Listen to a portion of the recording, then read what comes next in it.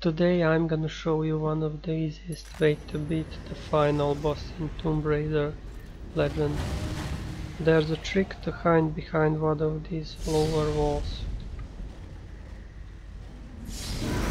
And somehow you can shoot through walls.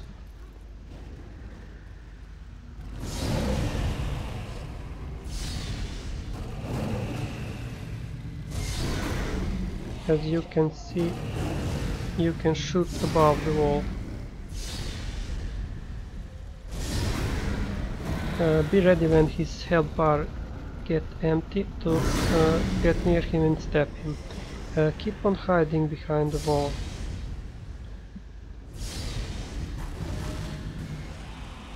Keep on shooting, aiming at him.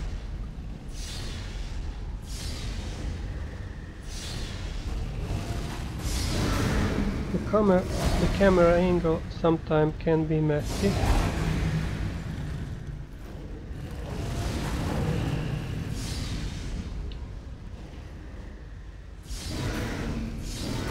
Keep on attacking him. Keep on moving away from him.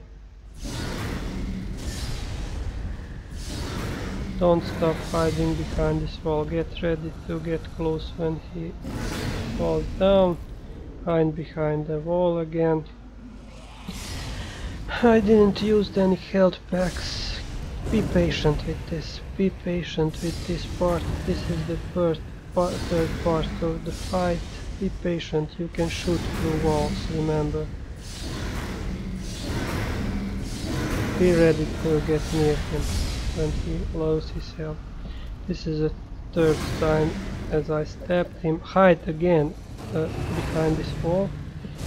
As you see, it's nothing complicated. It's too easy. Just walk from left to right, left to right, and shoot through the wall.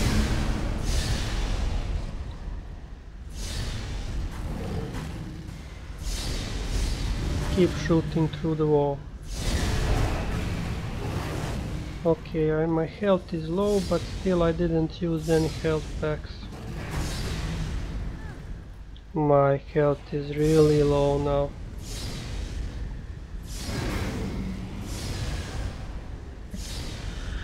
Keep on shooting at him, don't panic, be relaxed.